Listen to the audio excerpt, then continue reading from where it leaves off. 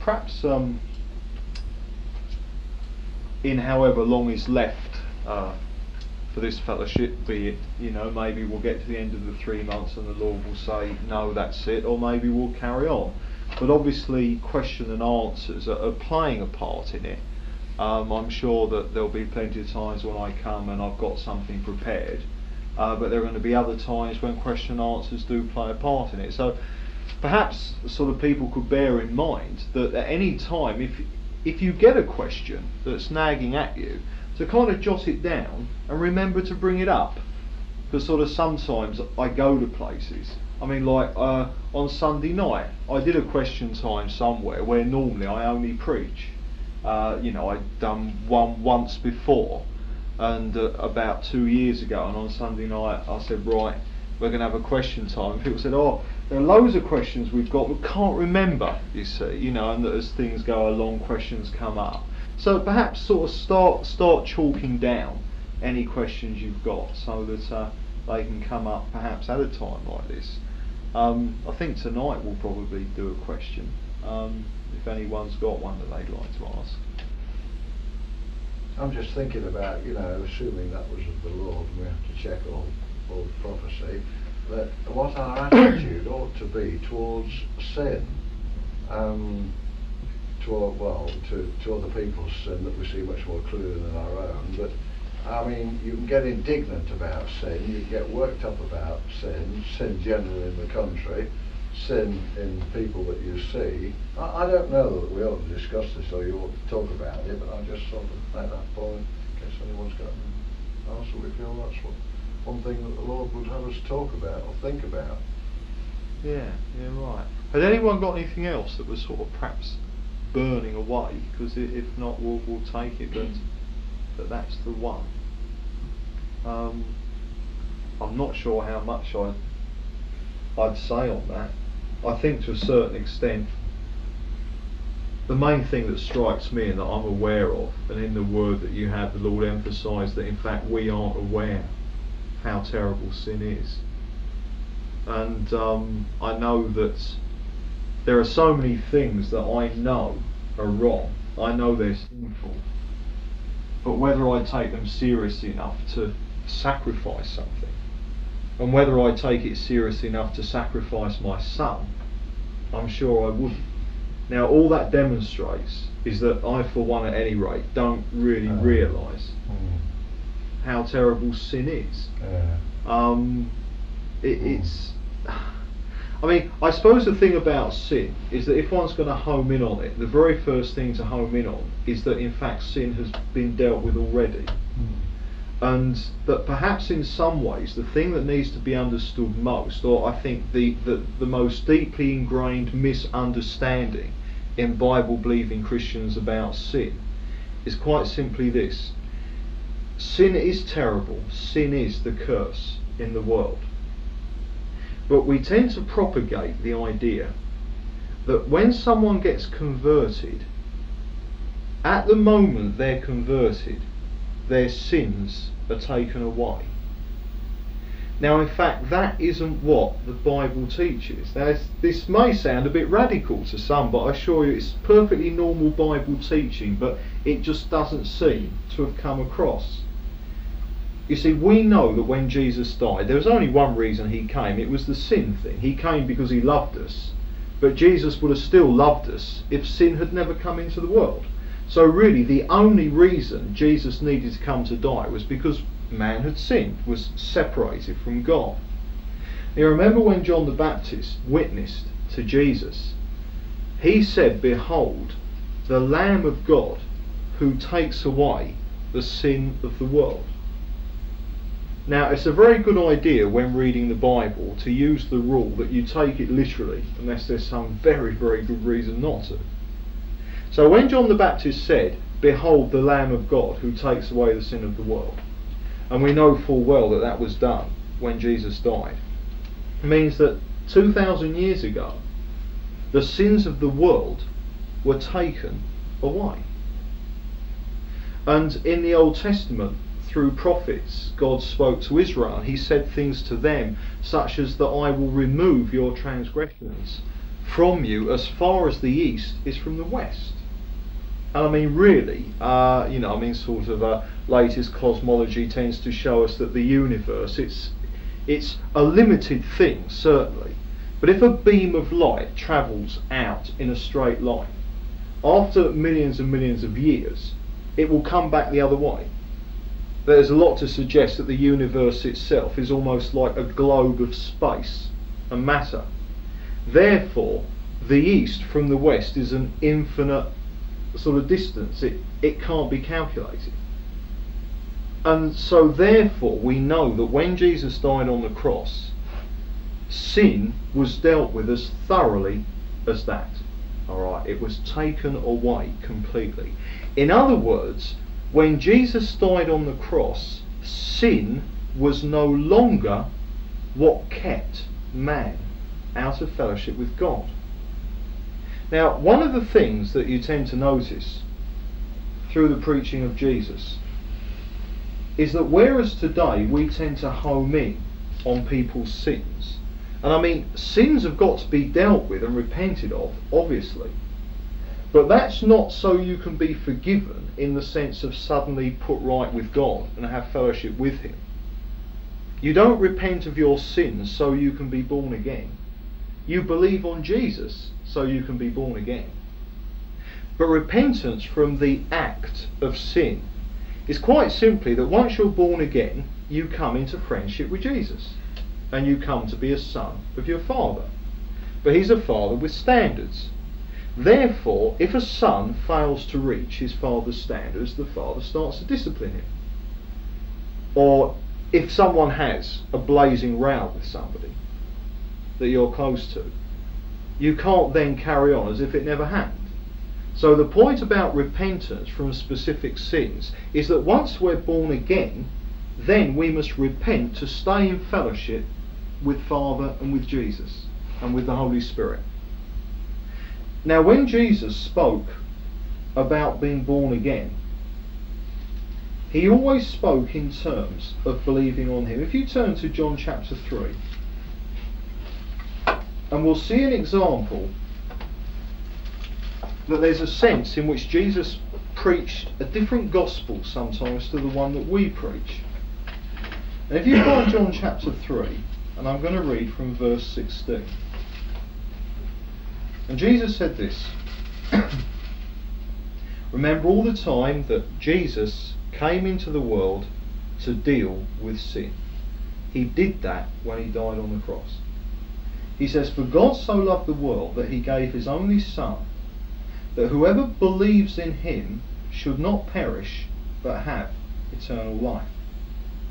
For God sent the Son into the world not to condemn the world, but that the world might be saved through him.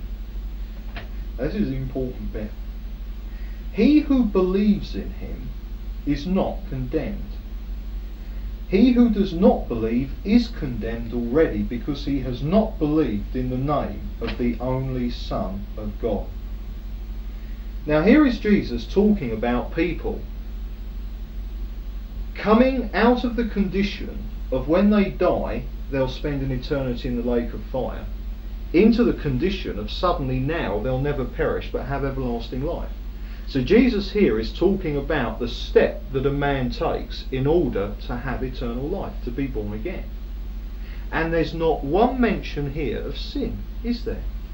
Can you see that? Jesus doesn't mention it at all. All he mentions is believing in him. Now, the reason is that when Jesus died, he took away the sins of the world.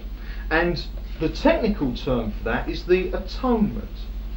When Jesus died on the cross, everything that Adam brought upon the world, the sin that Adam brought into the world when he sinned, everything that was done at the fall of man was undone when Jesus died on the cross. Everything that was lost when Adam fell was restored, at least potentially, for anyone who believes in Jesus, once Jesus died on the cross. So therefore, before I became a Christian, I was separated from God, and if I died, I would have gone to hell. But I would not have gone to hell because I'd committed sins. The barrier between me and God before I was a Christian, and this applies to everyone in this world today throughout history, the barrier between them and God is not their sin. Because on the cross, Jesus took it away. He bore it away. The sins of the world, past, present, and future, were dealt with by Jesus on the cross. If it's true, say an unbeliever walks in here tonight. If I was to go up to him and I was to say, look, your sins are preventing you from being saved, then that would make a mockery of something that Jesus said on the cross. And Jesus said on the cross, it is finished. When Jesus died on the cross, he dealt with the sin issue.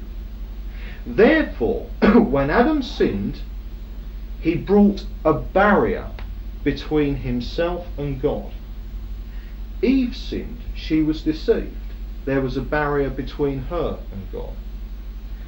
Now, because the sinful nature is passed on through the man, therefore, everyone who was born had a barrier of sin between them and God.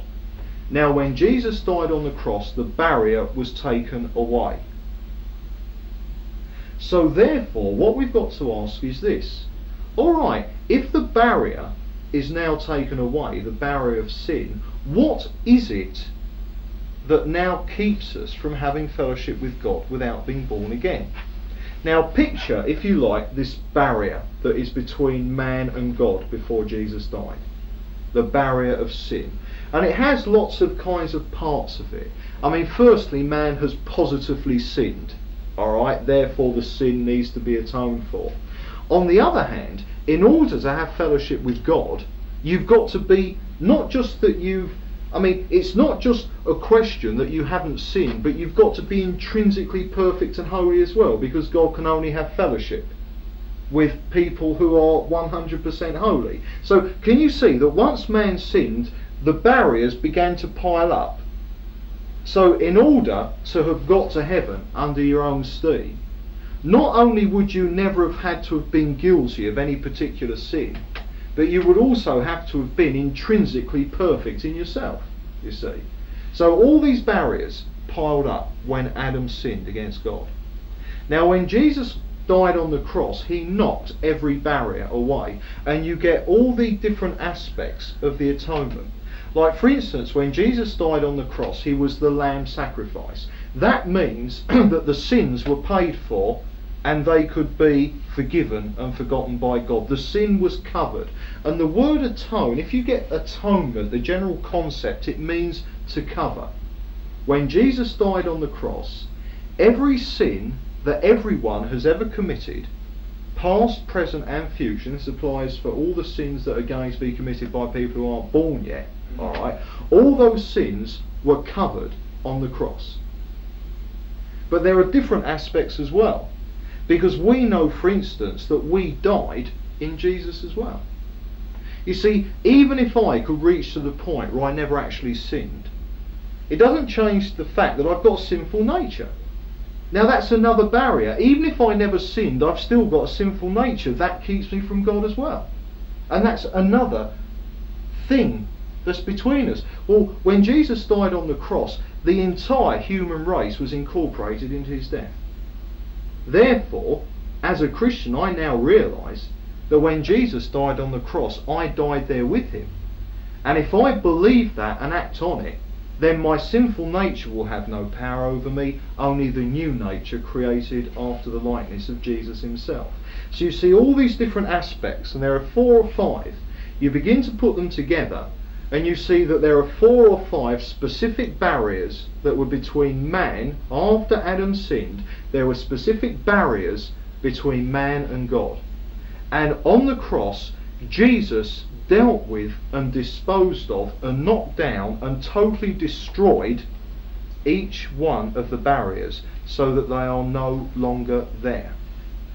Now, therefore, picture with me that when Jesus died on the cross, the barrier has gone. But what we have now standing between us and God is Jesus himself. Jesus died on the cross and that barrier was removed by him 100%. He now stands where the barrier used to be. The barrier has gone. It's not there anymore in anyone's life. It's gone. But Jesus now stands between man and God. So before I became a Christian, there was no barrier of sin between me and God. But Jesus stood between me and God. In place of that barrier that Jesus had destroyed, Jesus stood in that place as well. Now you remember instead, now Jesus said, I am the door. So what we've got is that instead of the barrier that cannot be passed through, it's been taken away by Jesus. Jesus now stands there in its place. And whereas the barrier was unpassable, Jesus stands there as a door. And what is left is simply this. Before Jesus died on the cross, no matter how much you wanted to, you could not have got through that barrier. But once Jesus died, the barrier is gone and he stands there as an open door. Therefore, what is left now is simply for people to walk through Jesus as the door. Literally, to believe in Jesus. So therefore, can you see that if man is separated from God, there's only one sin that now does it, it's the sin of unbelief. Because the barrier is gone, Jesus stands there as the open door, and if anyone believes in Jesus, if anyone realizes, if I die, I'm going to go to hell, alright, because I haven't got into fellowship with God, my goodness, I want to be in fellowship with God. Here is Jesus. He is the way. He is the door. I'm going to get into Jesus. I'm going to believe, and therefore I'm saved. So, can you see that salvation is by faith, believing in Jesus? Fine, we'd all agree with that. But therefore, condemnation is through unbelief not through sin. Unbelief itself is a sin, but it's not the sin issue that's going to land people in a lake of fire. It's simply that they have refused to act on the fact that Jesus has taken their sin away. If they refuse to believe, they can never enter into that salvation. And that is why here Jesus says, He who believes in him is not condemned. Why? Well, look, picture, here's us of ourselves on this side, alright? I mean, say you've got two cliffs here and you've got a steep drop, okay? Here's us on our cliff, alright? Separated from God, facing upon death the lake of fire. Here's the other cliff, alright? And if you stand on this cliff, it's eternal life. Now, Jesus stands there as a bridge. Anyone is free to pass from one to the other. But the condition is that you go over that bridge because it's the only one there is. And even if these cliff edges run for five million miles each way, the point is there's only one tiny little bridge. And the only way across is across that bridge. Well, if someone uses that bridge, they're across. And they're saved because they believed in the bridge and they escaped. But people who remain and face hellfire they're not going to end up in the lake of fire because of their sin. Their sin was removed when Jesus died on the cross. They're going to end up in the lake of fire because they didn't believe in the bridge and therefore didn't use the bridge. Alright. So this is why Jesus says, He who believes in him, i.e., he who believes in Jesus is not condemned. Why? Because if you believe in Jesus, you walk through him as a door. Remember, there is one God, and there's one mediator between God and man, the man Christ Jesus. And in the Bible, in the Greek, if you go into it, it's not just a question of believing in Jesus, it's literally believing into Jesus. This whole, whole idea in the scripture that everything we have, we have in Jesus. And it's because when you go through the door, the door leads into Jesus himself. Um, I think I've said here before, when I was a little kid, a tot, uh, I used to love trains. And when mum used to go shopping, after my brother went to school and I was left at home, and we'd go up shopping round the shops, and there was a station there, you know, the underground station, but a sort of overground section. And I used to love the trains. I'd be absolutely mad on the trains. And what I used to do sometimes is that there was a newsagent right on the corner where the station was And as you went into the new um, into the shop, you could just see if a train was coming in, and the barrier was clear. You see. And if I saw a train that was coming in, what I'd do is I'd time it and I'd pull my hand out of mum's hand and I'd belt through the station, I'd jump onto the train before the door shut and I'd be in the train.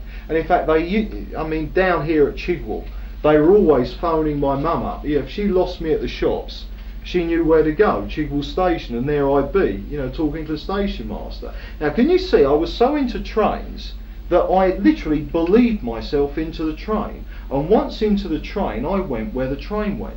Now, in exactly the same way, when you turn to Jesus, when you believe in Jesus, you're in Him and you go where Jesus goes. And Jesus goes to heaven. Jesus is and has eternal life, and we share it. So, therefore, he who believes in Him is not condemned. The only reason that you end up saved is because you believed in Jesus. It's by faith. And that has been made a possible thing because when Jesus died on the cross, he became sin itself. He became the barrier of sin himself. He paid the price for sin. He was destroyed as sin and dealt with by God on the cross. All right, so sin was gone. But then he rose again from the dead and stood in the same place, but this time as an open door through which we could pass through.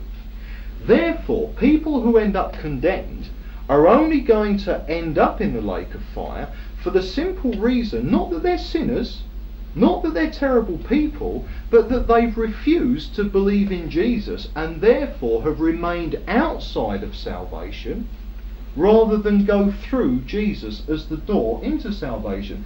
Therefore, Jesus goes on to say, He who does not believe is condemned already because he has not believed in the name of the only Son of God. So, can you see that because of the atonement, because Jesus himself became sin for us, the barrier has been removed? Not just for us who believe, but the barrier of sin in every non Christian's life was dealt with when Jesus died on the cross. So, sinners born today, people born today, do not have a barrier of sin in their life between them and God. What they do have is that Jesus stands between them and God, and it's up to them whether they'll admit they need salvation and then believe in Jesus and walk through the door to salvation. Now, if you turn over to John 14, there's another verse which shows this very, very clearly. Or is it John, John 16? 16 is it John 16, verse 9? That's right, yeah. And and here's Jesus talking about the ministry of the Holy Spirit. And uh, I'll start reading um, from verse 7. And he says, Nevertheless, I tell you the truth. It is to your advantage that I go away. For if I do not go away, the counselor will not come to you. Is the Holy Spirit. But if I go, I will send him to you. And when he comes, and now Jesus speaks about the ministry of the Holy Spirit, and when he comes, he will convince the world of sin and of righteousness and of judgment. So here we say, oh no, Burris, what you're saying is wrong, because the Holy Spirit comes and he convicts people of sin, doesn't he? What you're saying is wrong. Well, let's move on. He says, of sin because they do not believe in me. The only sin that prevents someone being saved is the sin of not believing in Jesus. Because they exclude themselves because they will not believe on Jesus and therefore they will not be saved. Now, what you know, a good way to think of it is like this. Now, take someone like Hitler, all right, and I'm just picking his name out because I mean he is, you know, I mean as far as sinners go, people say, I mean you can't get more terrible than someone like Hitler. Now let me say that if before he died Hitler cried out to Jesus, we're going to meet him in heaven. Alright? I don't know whether he did or not. I know that von Ribbentrop got saved, and I think that's terrific. He got saved, and we'll see him in heaven. But let's assume that Hitler is going to end up in the lake of fire. Now, why is Hitler going to end up in the lake of fire? Is it because he murdered 6,000 Jews? 6 million Jews? No. Is it because he was such a terrible man? No. Hitler, if indeed he ends up in the lake of fire, will do so because he didn't believe in Jesus. Because once Jesus died on the cross, the barrier of sin was totally and 100% eradicated. On the cross, him who knew no sin was made to be sin. Can you see? Jesus himself became a personification of the barrier when he was on the cross. And the barrier of sin and the punishment that the sinfulness of man brings and all the individual sins that can be committed, all that was judged and taken out and dealt with in Jesus on the cross. The barrier was obliterated then. Not when we're converted. The barrier in everyone's life was obliterated when Jesus died on the cross. Now, instead of that unpassable barrier, there stands Jesus not as an unpassable barrier, but as an open door. We can see this by using another couple of terms as well. I expect you've heard about ransom and redemption. All right. Um, now, we talk about us being the redeemed of the Lord, don't we?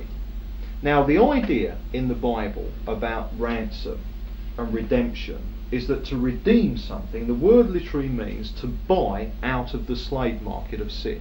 So what we've got is the picture that we are enslaved to our sinful natures. Alright? So therefore, picture us, we are slaves in a slave market. Alright? And a slavery, of course, can't buy his own freedom. So the whole point is that there is nothing we can do to get out of the mess that we're in. We are slaves. We'd love to be free. We'd love to be saved, if you like. But it doesn't change the fact that we are slaves, helpless to do anything about it. Now, one of the reasons why, I mean, some people they put things down like the virgin birth as being, well, it hardly matters one way or the other. My goodness, it does. Because the virgin birth meant that Jesus did not have a sinful nature. Now, what that means is that he comes into a world, and everyone in the world, past, present, and future, is in the slave market of sin. And a slave cannot buy his freedom. He must have a free man come and pay for him, so that he can then leave under the ownership of the free man who's bought him. You can't have one slave go up to another and say, Well, look, I really want to help you. I really love you, brother. I'm going to buy you out of this slave market. Because your slave, you know, the slave owners of the market, hmm, Satan, they're not going to have that. You see, you've got to be bought by a free man. So the whole point is that when Jesus came into the world, he came into the world as a free man through the virgin birth because he had no sinful nature. Therefore, Jesus could come into the world and legitimately say, I am entitled to buy any of these slaves that I want and I'll pay for them. Now, the price was his life, the price was his blood. But the point is this when Jesus died on the cross, his blood, because it was the blood of the eternal Son of God, is of infinite value. It's not like your blood, it's not by my blood. I mean, God spoke to Noah and he says that if a man sheds blood, by you know by a man shall his blood be shed. God puts great store on our lives. We are incredibly valuable. So valuable that God demands that if you kill me, if you murder me, you die. That's how valuable each one of us, the individual human life, is beyond value. And the reason why capital uh, sort of punishment must be is because if you jail a man for murder, you've made murder robbery. Can you see what I mean? But the hum- a human life is beyond price. You can rob someone of their money.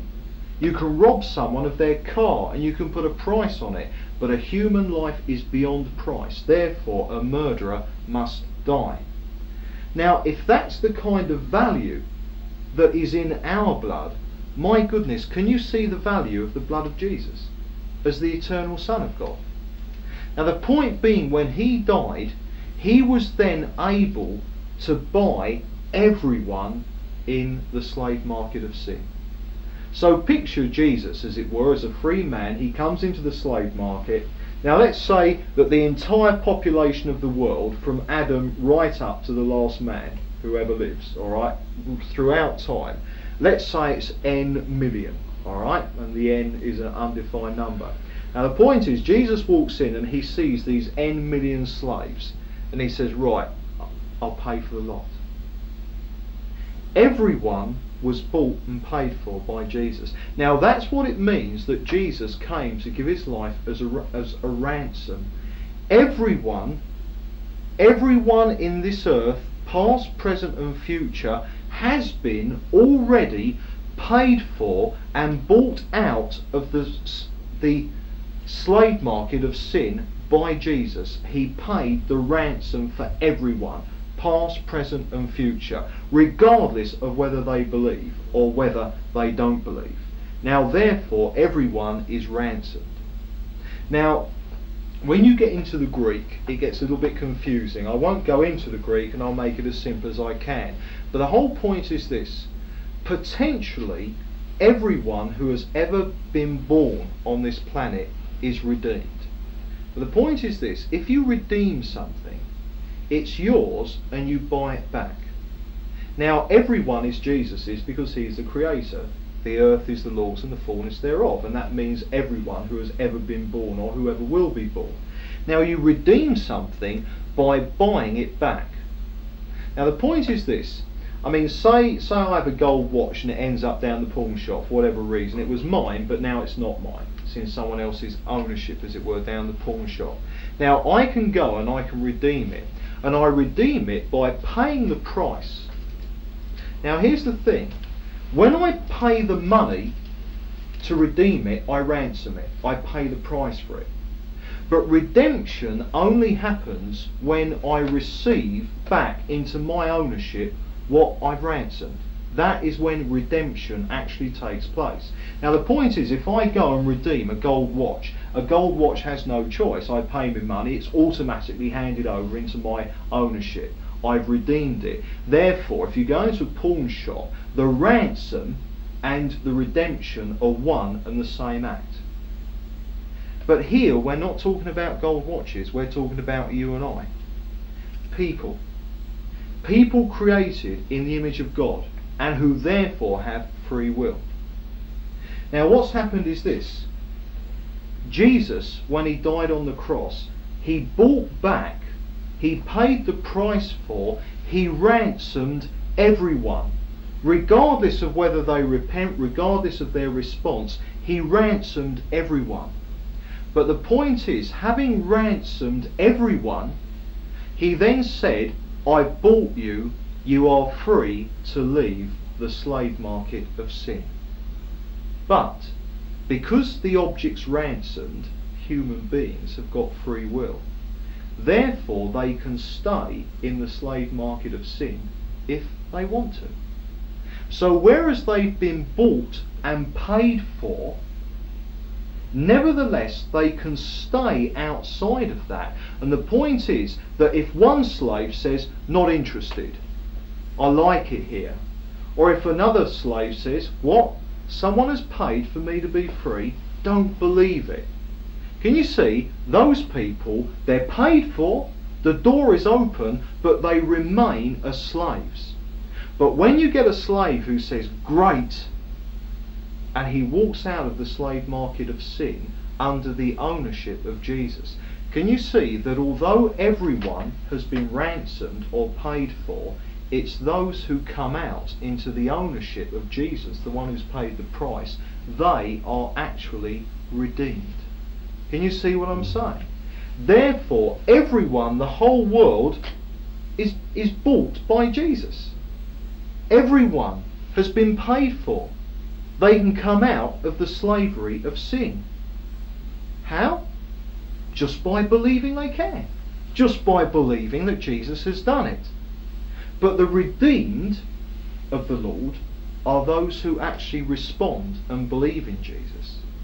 Now that's why when you go through the scriptures, when you get phrases like ransomed or bought or stuff like that, you'll find that applies to everyone.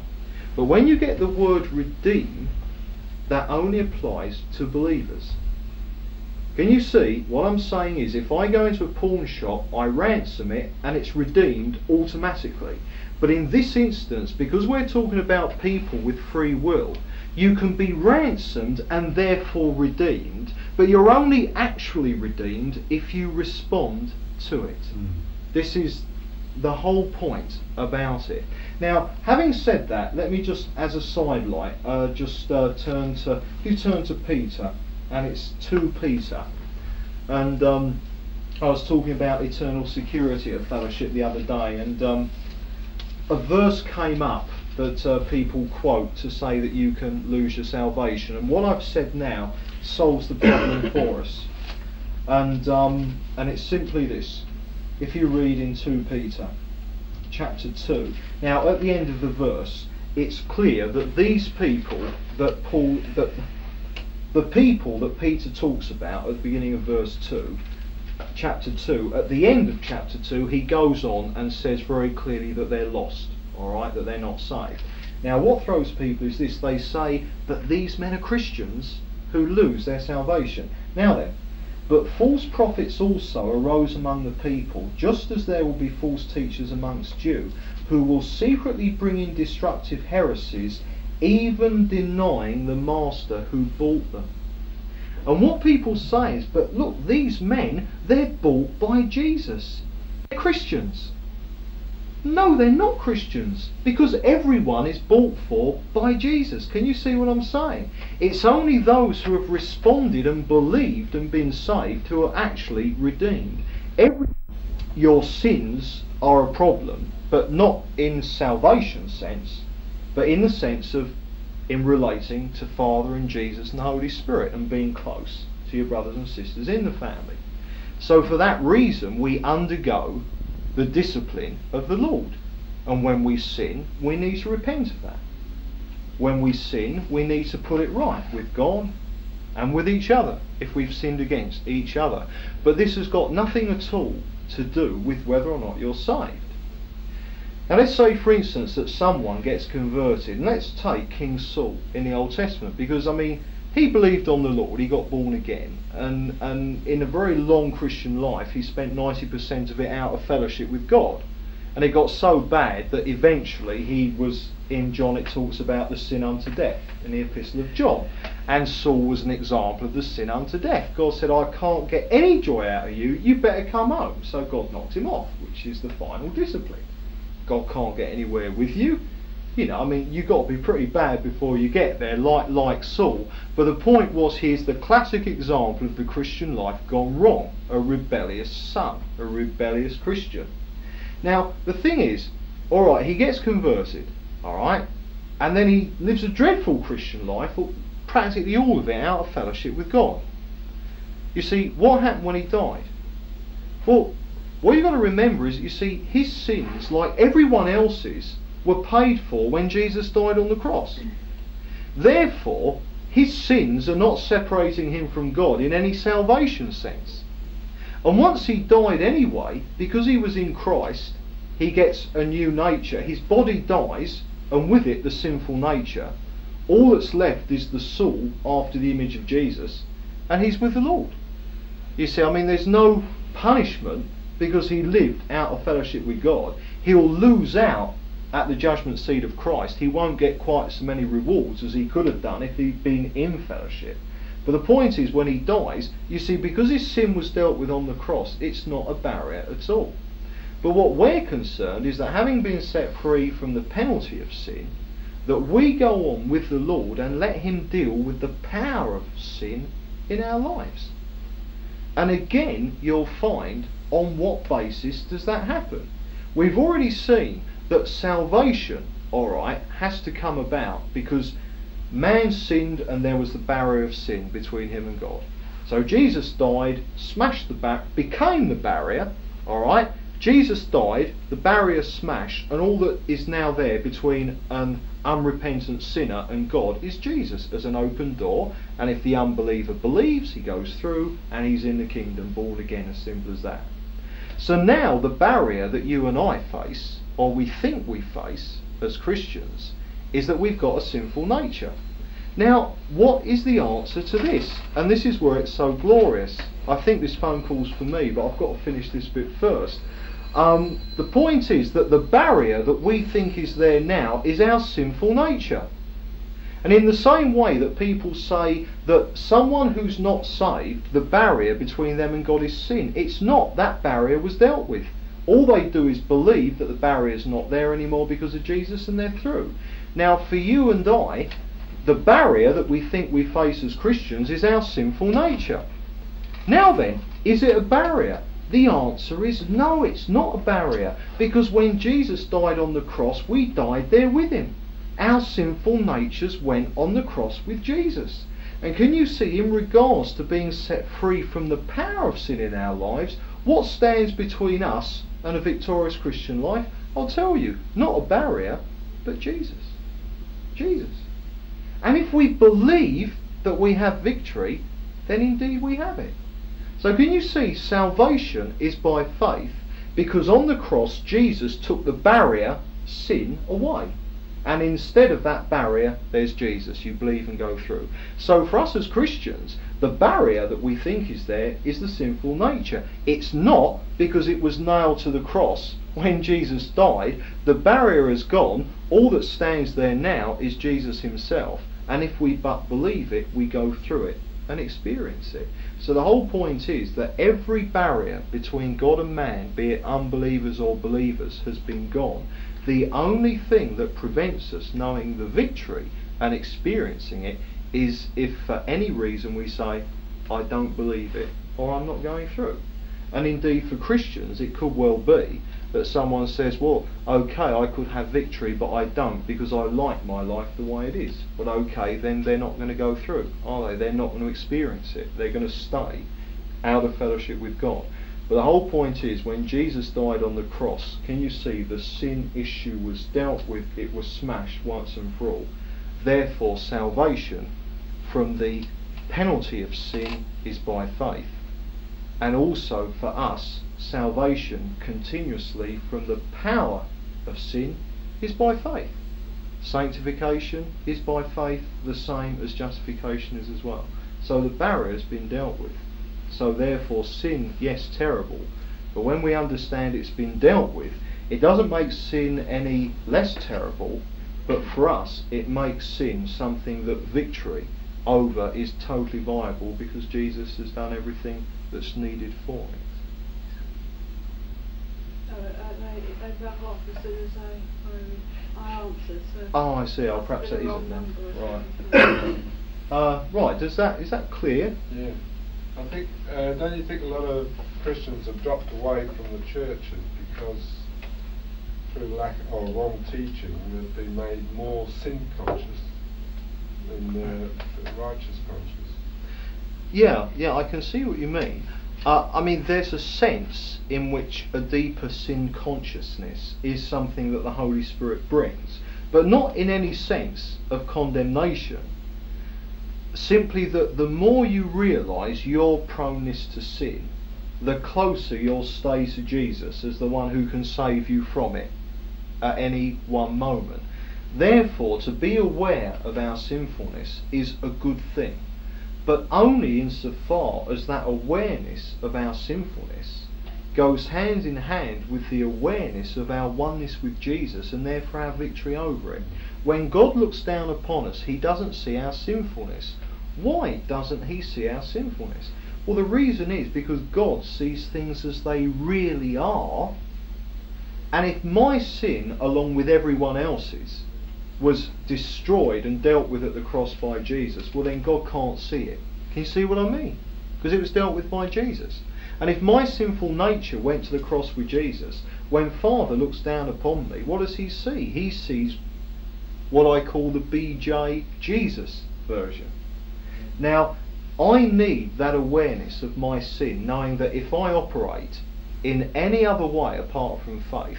Remember, what I'm saying is that if I'm to know victory from sin, there's only one way by believing that Jesus has got it for me. Simple as that. Not trying, not struggling, but finally believing that Jesus has got it from me. Therefore, my trust has got to be 100% in Jesus. I need to know that it's only something He does through me, it's not something I can do. Therefore, what the Holy Spirit needs to do is to prevent me living in my own strength. Therefore, can you see we need to know the sinfulness of our hearts? Because it's that which prevents us living in our strength. Now, can I just um, ask you, Beresford, now, on 1 John, you know, 1 John 1, Yeah. 8 and 9, Right. John is obviously talking to Christians, if we say that we have no sin, we deceive ourselves, you know, Right. and if we confess our sins, he's obviously talking to Christians. That's right. I, I- I'm thrilled by what you've said tonight, but I just want to see where those two slot in, those verses now. Yeah, right. Now, what we've said, basically, is that because of what Jesus has done, firstly, for unbelievers, there's no need for them ever to go to lake of fire, because they can believe on Jesus and be saved. And we've said also that for you and I, as people who have taken that step, what we are saying is because of what Jesus did on the cross, we need not sin. Now, if I say that, I'm saying totally and 100% what the Bible says. We need not sin. But remember that we need not sin, but that victory over sin is by faith. As we fully believe on Jesus and rest in Him, of course we will not sin. But the point is, we still have a sinful nature inside of us. It's not obliterated, so it's gone. In Romans 6, Paul talks about our sinful natures and he said that they were destroyed on the cross. Alright? Now, that word destroy, the Greek word doesn't quite mean to destroy. It's a Greek word katargeo, and it means to bring to nothing. Uh, the best way to think about it is if you've got acid, what is it? Neutralise, that's the word. You never think of that Oh, word, yeah. Yeah, it means to neutralise. Therefore, say that my sinful nature is there and it's a bottle of acid and it stings, it's potent, it's dangerous. Now, if I neutralise it with alkali, I pour it in, alright? Now the acid is still there, nothing's changed, the acid is there, but it's now neutralised and it's harmless. It doesn't operate as acid because it's been neutralised by alkali. Now then, if I was to extract the alkali, the acid is there, the same as it ever was, ready to strike because it's dangerous. Now, what we see is this we are one with Jesus, and we're one with Jesus in his death as well. Now, this means that if I live by faith in Jesus, if I live on the basis of my oneness with him, to the extent that I simply accept that my sinful nature was dealt with by Jesus on the cross, then Jesus is the alkaline for my sinful nature. Can you see? It's neutralised. But to the extent I don't believe, the acid is active. In fact, it's more than that. You could have victory, you could have had that neutralising effect of Jesus in one part of your life, but the acid remains, you know, absolutely in a different part of your life. Now, the point is that we have this sinful nature and evil heart of unbelief. Now, the potential for sinlessness, now, what I mean by that, the potential for victory over every temptation is there. But it can only be realised if perfect faith is there. And perfect faith is what we don't have. We must strive for it. I mean, I don't adhere to the doctrine of getting to a point where you never sin. Well, no, I haven't experienced that yet, but I hope it's true. And if I die having not realised it in this life, I won't mind because, of course, the minute I die, I get it anyway. Because the minute I die, I am sinlessly perfect because my sinful nature is then not neutralised, it is totally destroyed with my body.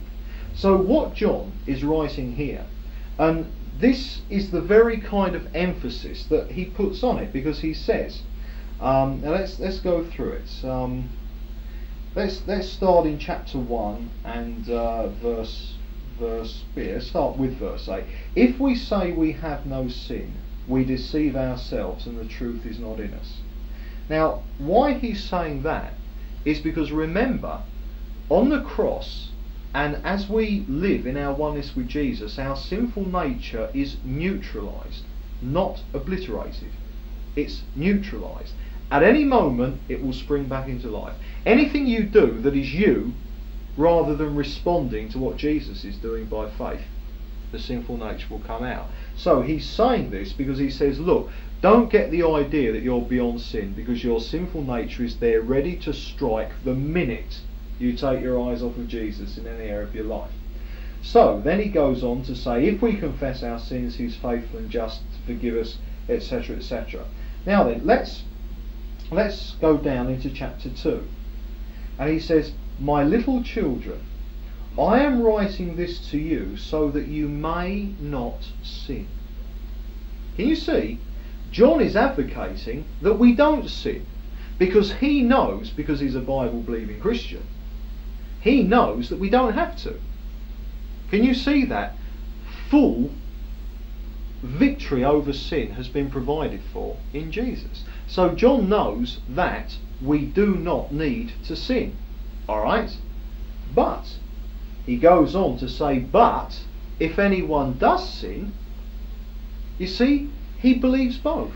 He knows that there is no need to sin but because he knows himself, and presumably everyone in his church, he knows that even though we don't have to sin, we do sin. So he then goes on to say, But if we do, we have an advocate with the Father, Jesus Christ the righteous, and he is the expiation for our sins. Now listen to this.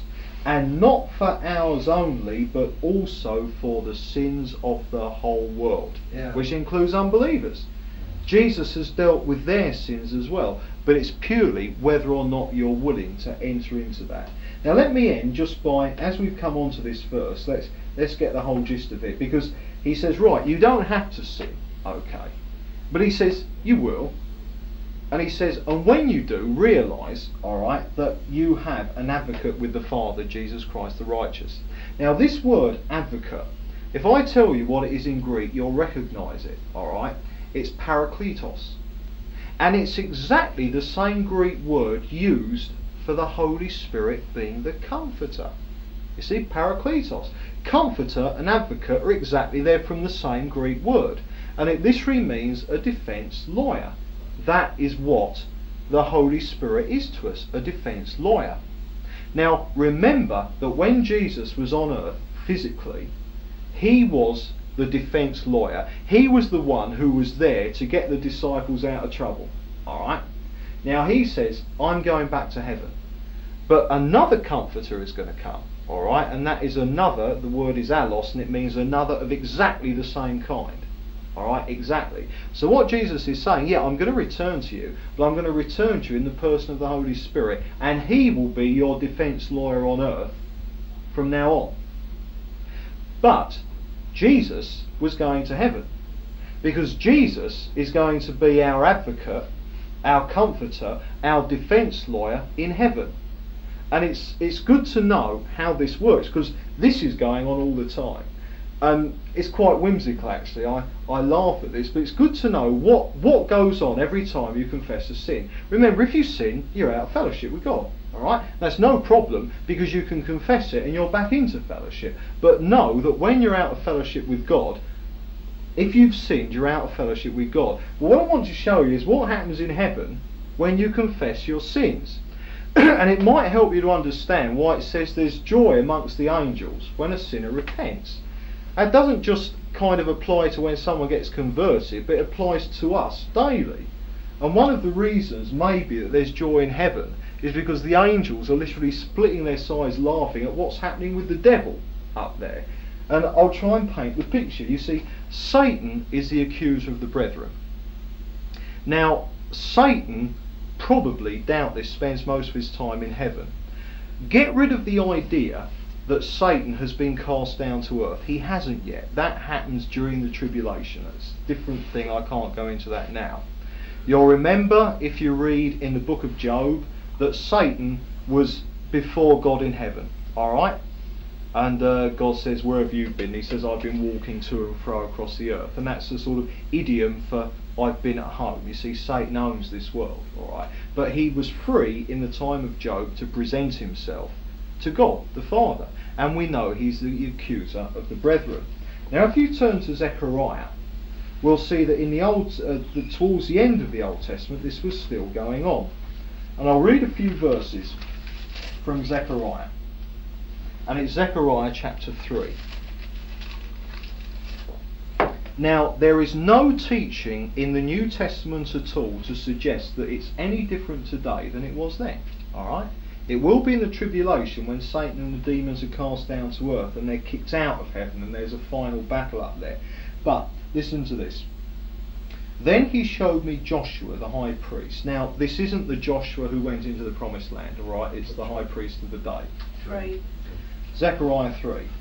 Then he showed me Joshua, the high priest, standing before the angel of the Lord, and Satan standing at his right hand to accuse him. This is what Satan means. It means the accuser. It's what Satan's name means. The Lord rebuke you, O Satan. The Lord rebuke you. The Lord who has chosen Jerusalem rebuke you. Is not this a brand plucked from the fire? Now Joshua was standing before the angel, clothed with filthy garments. Alright, there's the sin. But the angel said to those who were standing before him, Remove the filthy garments. In actual fact, literally, that's vomit filled garments. And you know the um, in the I can't remember where it is in the old um, in the Old Testament, but man's righteousness to God is as dirty rags. Well, the Hebrew means vomit filled. That's that's literally what it means, vomit filled rags. Remove the vomit filled garments from him. And he said, Behold, I have taken your iniquity away from you, and I will clothe you with rich apparel. Then I said, Let them put a clean turban on his head. So they put a clean turban on his head and clothed him with garments, and the angel of the Lord was standing by. Now then, what we've got here simply is that Satan is in heaven, alright, and he's picking on Joshua, the high priest, okay? And Satan is there accusing. But all we see happening, we notice that no one is taking the blindest bit of notice about Satan, you know, of Satan here. All that happens is the filthy garments, the sin, and remember when Satan accuses you of sin, he's probably right. Alright? I mean, I'm sure he makes some up, but he doesn't have to do that very much. I mean, I wouldn't imagine Satan has to make too many sins up to accuse me of, because all he's got to do is look. But the point is, there's him busy accusing, but Joshua, boom, the sin goes and righteousness in its place. Why? Because he's a believer. The sin problem has been dealt with. He's a believer. Now, the whole point is that Jesus is our advocate, our defence lawyer in heaven. Now, what happens is that God the Father is the judge. He's the judge of the whole earth. But what you've got to remember is that sin was judged on by sin was judged by God in Jesus. Alright, so the judgment has already passed. The final great white throne judgment is simply whether they believed in Jesus or not. Alright, but the sin judgment is past. It was put on Jesus. And because we're Christians, uh, you know, we have entered into that salvation. So picture that I sin. Alright? Therefore, what's happening in heaven is this. Satan's up there like a rocket. Alright? and he steps before the bar. Okay, there's God the Father as the judge, and he steps before the bar because one of God's children has sinned, and God must judge sin. All right. So Satan's there, and he is going to try and accuse me. Now, what happens is this: as soon as I confess my sin, all right, Satan, Satan is there as the prosecuting lawyer and he's standing before God the Father, the judge, and Jesus is there as my defense attorney. Now remember that what happened was when we saw in Zechariah that basically the Lord told Satan to shut up. So what happens is Satan comes in and he reads the charges. But I've confessed my sin. So therefore Jesus dashes up to the Father And he says, Father, he's covered with my blood. Father, he's one of mine. Alright, you gave him to me, he's one of mine, he's covered with the blood. Alright. At this point, Satan moves in. He's got the charges. Alright. He prepares to speak. He's checked all his facts. He knows that I actually sinned. There's no doubt about it. He's got witnesses. God isn't going to tell him I didn't sin because Satan knows that I did sin. So Satan moves into the court. He opens his mouth to accuse me. The judge, because this is a very biased law court, the judge tells him to shut up, alright, and boots him out. Jesus, my defence lawyer, moves up to the father and he says, wait a minute, he's covered by the blood.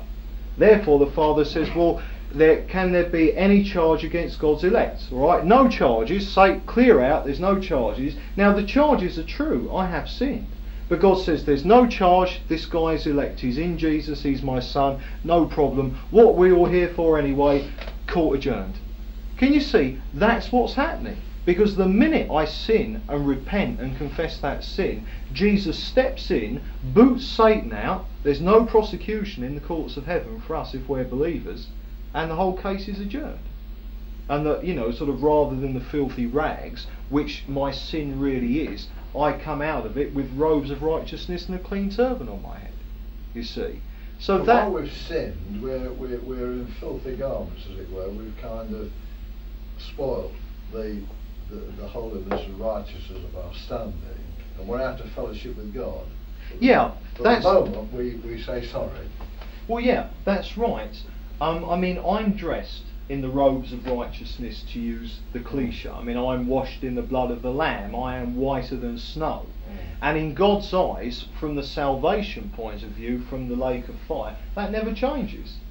I mean, if I die tonight, it doesn't matter how many unconfessed sins there are in my life. I might have been out of fellowship for 50 years, like Saul was. Yeah. But the point is that I am washed in the blood of the Lamb, to use the cliche. I am clean. I am clean. When Jesus washed the disciples' feet, he gives us a picture of this. And he said, You are already made clean by the word I've spoken you. Mm. You remember he said to Peter, You know, I'm going to wash your feet. And Peter said, No, no, no, Lord, you can't do that. You can't do that. And then Jesus said, But if I don't wash your feet, you have no part of me. So then Peter says, Well, Lord, let's have a bath, you know, do my hands and, Yeah. and the rest of me as well, you see, over the top. But Jesus says to him, He says, No, you are already made clean by the word I have spoken. What's he saying? You're born again. You've believed on me. The sin issue in your life is dealt with. You are clean. But the point is, day by day we walk in the world and our feet gets dirty. The world rubs off on us. Ah. Therefore, it has to be washed. It's a picture of confession. So the point is that if you don't wash your feet, I mean, you know, sort of real. I mean, some Christians, their Christian lives can be compared to someone who hasn't washed their feet for ten years, and then they wonder why Father isn't, you know, talking to them. You see.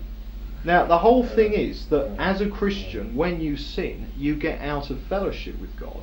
Confession, and Jesus washes your feet. Isn't that lovely? He washes you. He don't tell you off. He washes your feet. You see. but if we don't confess that sin, then we're out of fellowship with God in a relationship sense, and rather than enjoying blessing, we come under the discipline of the Lord. But it's the discipline of a father and a son, alright? It's not the judgment of a holy God to a sinner, because that judgment is past. Isn't there something in the, in the New Testament about the, the garment spotted by the flesh or something? That's right, yeah, that's James, isn't it? Oh, James Yes. 5, I believe. Does that mean the garments of righteousness that get spotted? uh, Let's just have um. I've lost James. Right here we are, and it's talking about a brother. Let's see if I can find it.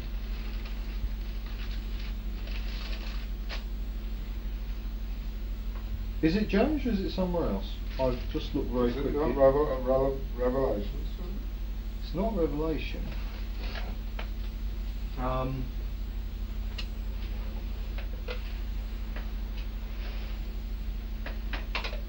ah, I can't find it. It's garments, is it? It is garments. Um, Yeah.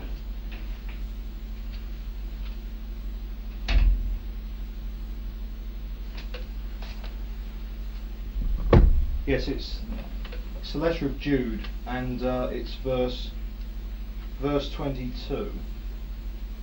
And it says, Convince some who doubt, save some by snatching them out of the fire. On some have mercy with fear, hating even the garment spotted by the flesh. Um, it will be a bit difficult actually It to in work out whether. No, it's isn't in? Jude. It's in Jude. Hating even the garment spotted by the flesh. What verse? Uh, verse 23. Two, five, two. No, Robert's got another one in There's one in James 5 2. Well, let's have a look at that one. Garments, your garments are mothy. Oh no, yes, that's that's about the um, no, that's about the Christians who are That's the one, trusting in riches and exploiting people. Revelation have not defiled their garments in Revelation, John said Yeah.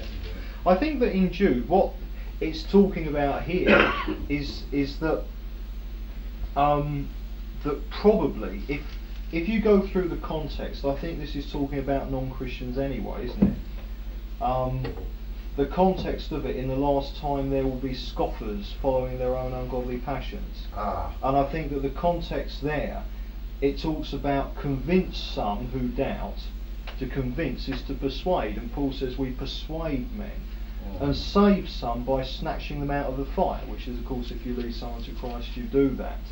Um, so I think this thing, hating even the garment spotted by the flesh, it couldn't refer to the robe of righteousness that we have as believers because it says hating even the Yeah. garment spotted by the flesh. Mm.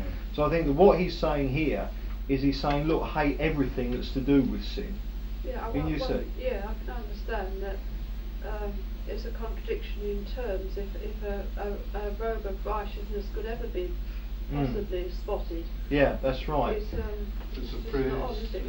Yeah. It's a gift, There's- Yeah, there's just one other thing that I'll read in Romans 7, and this really is quite.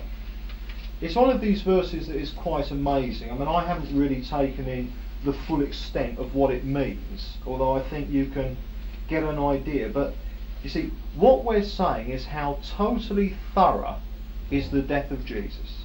Alright, how totally 100% thorough is the death of Jesus. And also how 100% thorough is the new nature that you and I have as born again believers, made in the image of Jesus. Because um, in Colossians it speaks about, uh, he says, put on the new nature created after the image of Jesus. So what he's saying is when you got born again and the Holy Spirit came into you, a new you, the you who would have existed had you never been born in sin, was born through the power of Jesus. You were born again. There was a new you. So there's an old you, a sin you, and there's a new you, a Jesus version of you. Can you see what I'm getting at? Now, when Paul talks about in Romans 7, he talks about the struggle that he had, that he really wanted to obey God's law, but he couldn't. It didn't matter how much he wanted to, he couldn't. Every time he got the chance to do right, he did wrong, and he couldn't help it. And every time he really determined that he wouldn't do something, he did it. You see, and yet he he delighted in the law, in my inward man. He says, but you know, he says I, I just can't do it. Now, let me see if I can um find the bit that I want. Yes, I'll just read from verse 13. No, I won't. From verse verse 15. He says, I do not understand my own actions. Now remember, he's a born again believer. Some people try to say that this is the struggle he went through before he was converted. It's not. This is the struggle he went through because he got converted. And he says, I do not understand my own actions, for I do not do what I want, but I do the very thing I hate. Now, if I do what I do not want, I agree that the law is good. Because he's saying, well, look, I'm agreeing with God's law because I know it's wrong. What I'm doing, I hate it because it's wrong. He says, now, so then, and this is the verse, it's incredible. So then, it is no longer I that do it, but sin that dwells within me. Now, can you begin to see the kind of just how far that verse is going? In verse 20, he says, Now if I do what I do not want, it is no longer I that do it, but sin that dwells within me. He says it again. Mm. Now, this is almost amazing because it's as if Paul is trying to draw a distinction. And he's saying that once you're born again, you must distinguish between you and your sin. And he's saying that sin in you now exists quite separate from you. You see, the point is that when you were born again, you were brought into oneness with Jesus. You are one with Jesus. Jesus is the vine, we are the branches. Now, if I took you to a vineyard and I pointed to a branch and I said, What's that? You'd say, It's a vine. You see what I mean? Because the branches are the vine. Therefore, when Jesus says, I'm the vine, you are the branches, the branches aren't separate from the vine, the branches are the vine. They're as much the vine as the root. They're as much the vine as the stem. Therefore, this oneness we have with Jesus is absolutely total. Which means, when, if any man is in Christ, he is a new creation. Uh, a new creation. Therefore, when you were born again, a totally new you came into being. What happened? You were brought into oneness with Christ. Now, try and picture what your life would have been had Adam and Eve not sinned. Picture that sin never came into the world. Therefore, you would not have had a sinful nature. Now, that is what Jesus has done for us on the cross. Do you see what I mean? Do you see what I'm getting at? Now, a new me is born, and it's the me that there would have been had I never, ever been touched or tainted by sin. And this is made possible because Jesus, who is the only one who has freedom from sin, he is one with me. And I can share in his very freedom from sin. Which means now there's two me's. Alright? There's the BJ fallen version. Alright? Now the trouble with him wasn't BJ, it was his sin. Alright? I've said this before, there's nothing wrong with you except your sin. But when I got born again, God took this BJ and a new version, this time the real BJ, what I always should have been, but was prevented from being because Adam sinned. Can you see what I mean? Because the devil's in the world. So the new BJ, a Jesus version of BJ. Now what Paul is saying here is that our oneness with Jesus is so totally thorough, it's almost as if you can say that when you sin, you hadn't sinned, but it's simply the residue of sin that remains in your Christian body. Now, one has to be careful, alright, because one could take that too far and say, well, I mean, it's not my fault, I'm not, I can't help, it's just my sin. You see, and you could disclaim responsibility. That isn't what Paul's doing, because Paul himself is the first one to urge people to repent. Mm. But what he's just trying to do is to show how thorough, how total, how complete our oneness with Jesus is. And he's almost saying, and when sin slips through, well, by virtue of you being one with Jesus, it's not you anyway, it's just your sin. But you must take that in balance because we won't want people going around saying, well, I can sin because it, it's not my fault. So, oh. but it's the